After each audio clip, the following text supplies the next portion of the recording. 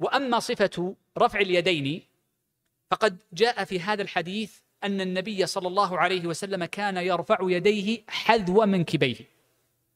وأريدك أن تعلم معا أن أنه قد ورد في حديث آخر وهو حديث مالك بن حويرث أن النبي صلى الله عليه وسلم كان يرفع يديه فيحاذي بهما أذنيه. فمن أهل العلم من قال إنه يجوز الوجهان فيكون من اختلاف التنوع. وهذا مقبول لأن الحديث ورد بهما لكن نقول ما هو أفضل الصفتين؟ نقول إن أفضل الصفتين هي حديث ابن عمر. هذا. لماذا؟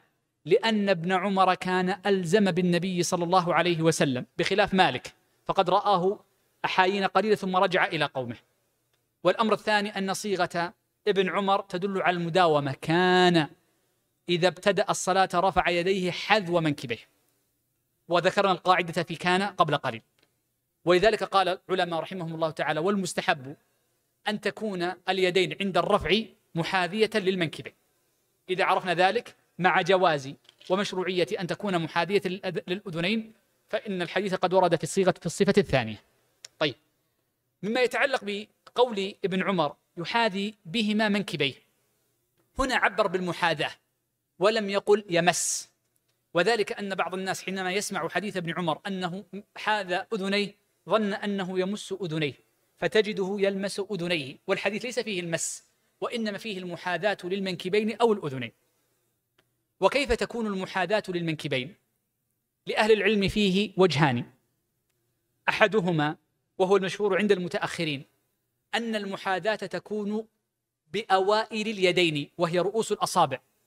وبناء على ذلك فمن أراد أن يحاذي بيديه منكبيه عند التكبير فإنه يجعل أطراف أصابعه محاذية لمنكبه والمنكب هو العاتق وما قبله هذا المراد به العاتق أعلى العاتق فيكون بهذه الصفة فيكون بهذه الصفة. والوجه الثاني وهو الذي انتصر له الشيخ تقي الدين وهو أن المحاذاة تكون بوسط الشيء وضابط المحاذاة الوجهان يتعلق بها نحو من عشر مسائل منها هذه المسألة. وبناء على ذلك فيكون المرء إذا أراد أن يحاذي بكفيه منكبيه يرفع يديه قليلا فتكون بهذه الهيئة فيكون وسط اليد وسط الكف المقصود وهي أطراف الأصابع من سفل محاذية للمنكبين. وأنت إذا فعلت هذه الهيئة قد يراك الرائي فيصف فعلك فيقول إنه محاذ بيديه لأذنيه. فحينئذ تكون قد فعلت الحديثين معا ويكون ذلك أقرب. ولذلك الوجه الثاني قد يكون أقرب جمعا للحديثين بناء على قولنا أن ابن عمر إنما حكى الصفة الملازمة. إذا عرفت ذلك إذا هذا معنى المحاذاة وما يتعلق بها. مما يتعلق بالمحاذاة كذلك أن العلماء يقولون عند محاذاة اليدين يستحب فيهما أن تكون اليدان مبسوطة غير مقبوضة وأن تكون اليد مضمومة الأصابع غير مفرقة الأصابع. هكذا لأنه جاء في بعض الأحاديث ما يدل على هذا المعنى. وبناء على ذلك فإذا أردت أن ترفع يديك في تكبير الصلاة فتقول هكذا الله أكبر.